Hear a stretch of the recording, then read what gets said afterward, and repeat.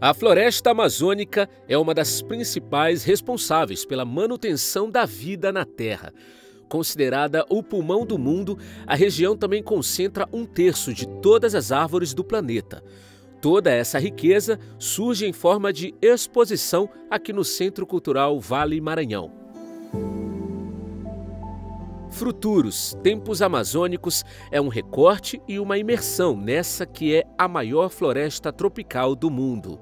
Essa exposição é muito importante porque ela, o tema dela é, é traz é, questões muito importantes para a difusão científica, né? difusão de conteúdos que não são populares, é, que costumam estar fechados em determinados grupos e hoje em dia é, é, a gente sabe da importância de divulgar nessas né, pesquisas, esses conhecimentos que tão, é, antes estavam é, fechados aos universos acadêmicos e científicos. A exposição é original do Museu do Amanhã, que fica no Rio de Janeiro. Quando o projeto entrou em itinerância pelo Brasil, o Maranhão foi escolhido como o primeiro lugar para sediar a mostra.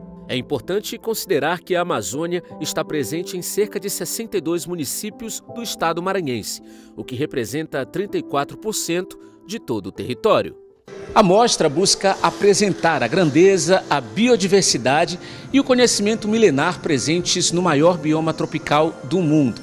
Além de propor novas descobertas sobre a relação entre o clima e a floresta, a exposição também reflete sobre a urgência de preservar o meio ambiente pensar em como o, o, as questões do clima e, e, e, outros fatores que estão relacionados à floresta estão totalmente interligados no mundo inteiro, por exemplo. Então, ter a dimensão disso a partir de uma exposição que é totalmente interativa, como como eu disse, e de fácil acesso, produz uma reflexão profunda e acessível, né?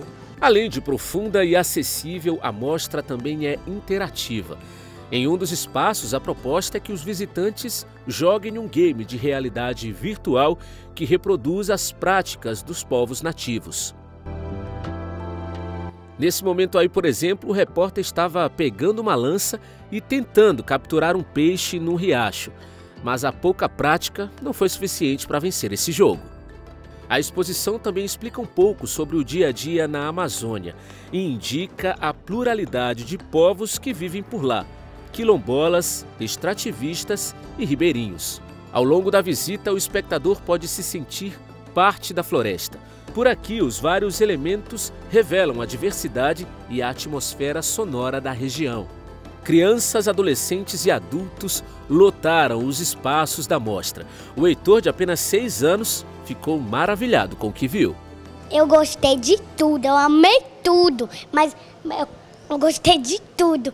Eu gostei daquele lugar, eu tenho aquelas todas as fotos Gostei daquele lugar onde tem aqueles instrumentos. Heitor se refere ao espaço da mostra que apresenta um pouco sobre os saberes dos povos amazônicos, as técnicas de cestaria, as línguas faladas na região e, claro, os instrumentos musicais produzidos por lá. Pura arte e conhecimento.